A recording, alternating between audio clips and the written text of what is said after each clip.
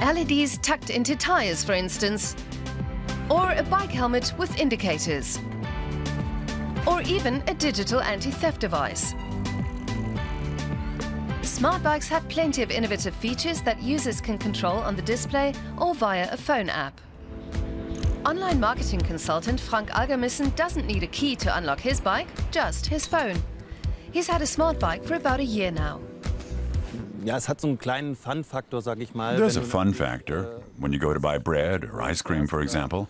äh, was ich eine Eisdiele- Others have to find their keys, whereas all I have to do is get my phone out, tap it, unlock the bike, or turn on the lights, that sort of stuff. Angeht oder solche Sperenzchen.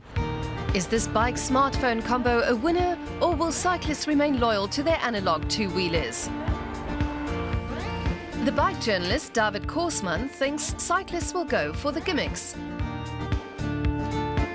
Es ist ja gerade eine, eine wahre Goldgräberstimmung. Well, there's a gold rush fever at the moment when you look at the crowdfunding campaigns, the startups, the gadgets that are being developed. There's so many options, Es ist eine Menge and we'll see which ones actually establish themselves. Ähm, Ich glaube auch, dass I think it has a lot to do with how society is developing and the way people are using data acquisition devices. ähm, solche Datenerfassungsgeräte im Groben, jetzt mal gesagt, nutzen wollen. There's certainly a high demand for gadgets and apps, like the Bike Citizens, especially for urban cyclists. It favors cycle paths and side streets. The app also wants to influence city planning by evaluating data to improve the infrastructure. This helps to create what are known as heat maps, which show frequently traveled routes. Einerseits ist es Well, there is a data protection issue. Companies collecting data have to ensure it's secure. And there are databases being hacked into and information being put online. The information that's gathered, the mobility behavior, can also be used by bike thieves. Die können, die können natürlich auch von Fahrraddieben benutzt werden. Which could be a coup because smart bikes go for around 10,000 euros. But a stolen smart bike can be easily located thanks to inbuilt tracking technology.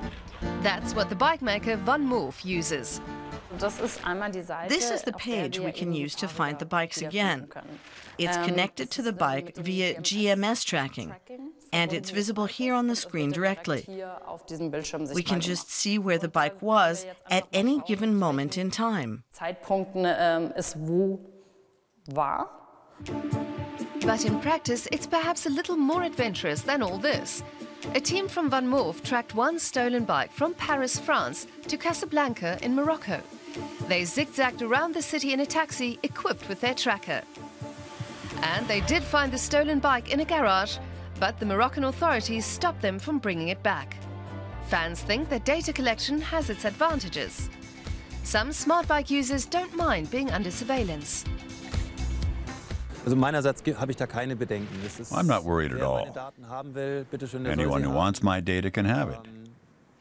Wer mich ausspähen Anyone who wants to spy on me or get into my bike app will always find a way. finden, ähm, so gesehen sehe ich I prefer to concentrate on the advantages and all the options for playing around. There's plenty in store for the fans of smart bikes and gadgets. However, nobody expects the wheel to be reinvented.